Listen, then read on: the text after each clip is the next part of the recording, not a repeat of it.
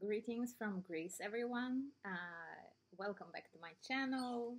Today is a little bit different. I just would like to introduce a new section on the videos that I want to start where we're going to talk about dance more than actually move, uh, although I will definitely share some practical things. What I want to focus on in those talks is or are the main principles of ballet and dance and the body in dance and the attitude in dance class or ballet class.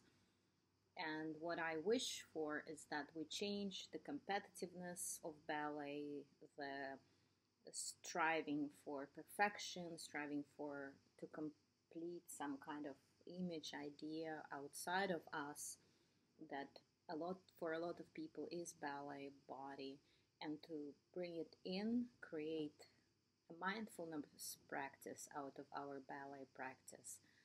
Uh, if you're beginning with the ballet lessons or you're in the middle of your career or you're a student i think it can work for any of us. Ballet is surrounded by trauma. I will not be afraid of this word, and even though this word is super popular right now and everybody uses it right and left, I think ballet is definitely something that has a lot of heaviness surrounding the subject. It's um, it has um, sort of old-fashioned feeling to it for some of us. It has an idea of a certain body type that only can do ballet or if you begin to do it, that's how you should look like uh, from the skinniness to um, the turnout idea of how much we need to turn out to call it really ballet, uh, to high legs, to whatever. There are a lot of ideas of how it's supposed to look like, and for that, there is a pain connected to it uh, and what I think that in ballet there are a lot of principles that are much more organic, much more comfortable, much more um, useful for anyone, dancer or uh, just a person who would like to move in their free time.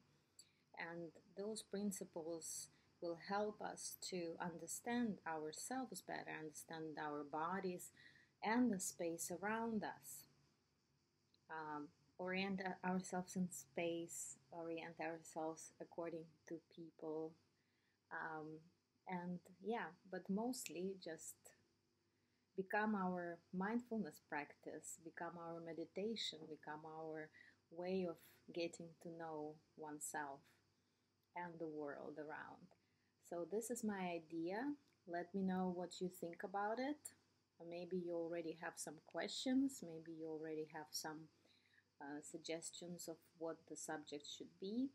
Of course, I have my own uh, plan for those talks, and um, of course, if you disagree, please share with me.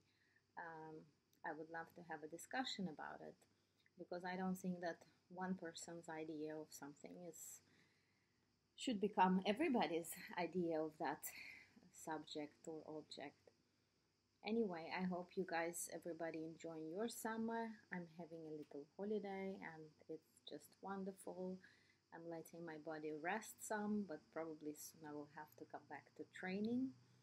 And of course, uh, I welcome you to join me in training with the old videos and the new videos that are coming soon. All right. Take care and keep on dancing. 拜拜。